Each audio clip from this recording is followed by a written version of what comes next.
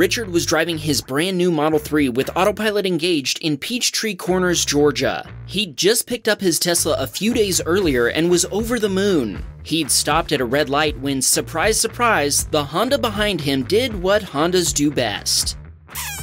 Richard tells us that the Tesla sounded a loud alarm moments before the impact, and autopilot moved the car forward slightly as if it was trying to soften the impact. What do you think? Do you think autopilot avoids collisions from behind